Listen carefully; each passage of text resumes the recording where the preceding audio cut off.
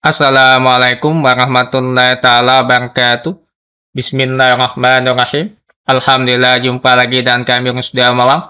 Pada kesempatan kali ini, video yang kami sampaikan tentang tutorial cara membuat format angka, titik, rupiah, dan ribuan dengan menggunakan mail merge di Excel atau mail merge, teman-teman.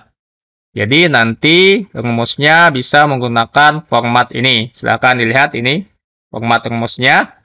Coba kita langsung praktikkan bagaimana cara penerapannya.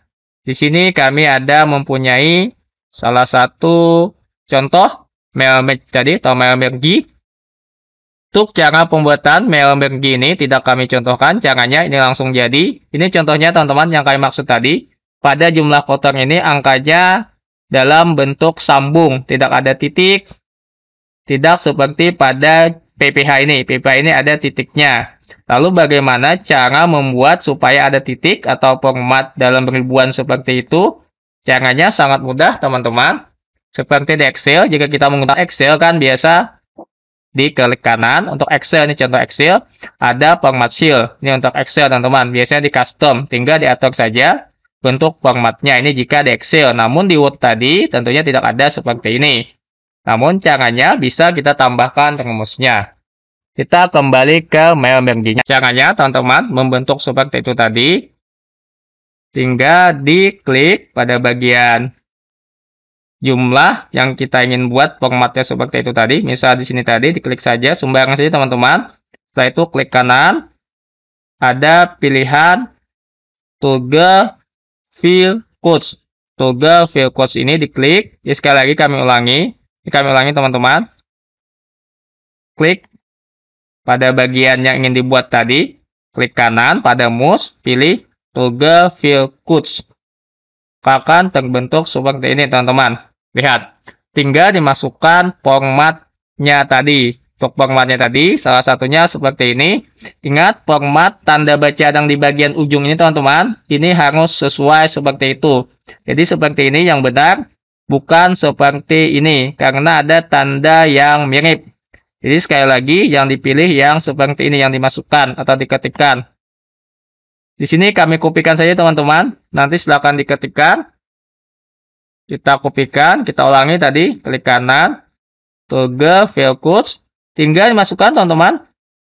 Di bagian ini, ujungnya ini, masukkan saja.